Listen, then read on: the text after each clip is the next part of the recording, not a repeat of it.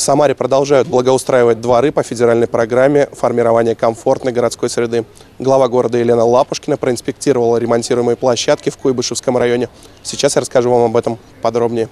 Во дворе на Центральной 9 с ремонтом уже справились. У детской площадки установили ограждающие секции, рядом с подъездами уютные лавочки, урны и цветники. Не забыли и про автомобилистов. Специально для них обустроили асфальтированные парковки. Одним словом, двор превратили в уютный уголок для людей всех возрастов. Осталось выполнить санитарную обрезку деревьев и убрать ЖКХ «Арт». Резиновые автомобильные покрышки, которые портят внешний облик двора. Проблему с проездом и парковкой для автомобилей решили и на фасадной.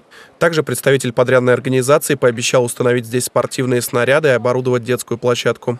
На этой площадке что будет? Детская площадка будут тренажеры, будут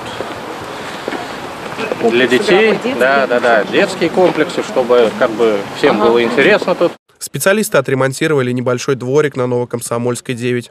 Здесь установили аккуратные ограждающие секции, скамейки, разбили цветники. Местные жители поблагодарили главу города за проделанную работу и попросили решить проблему со скамейками. По мнению горожан, расстояние между деревянными секциями слишком большое. Вот эти лавки точно не пойдут. Мы уже Ну, проговорили. Понятно. Э, что ужас. надо. Но они и дерево не Вот поэтому и не ставим, решили вот пробный вариант, он не понравился жителям. Да, Да, поэтому- все, Поэтому сучках, остальные эти пока не ставим. долго не, не продержатся. Несмотря на замечания, местные жители не пожалели, что стали участниками федеральной программы. Парковка. Тут у нас была такая грязь невозможно. Теперь стала асфальтированной площадкой, и машины могут стоять, и мы можем ходить.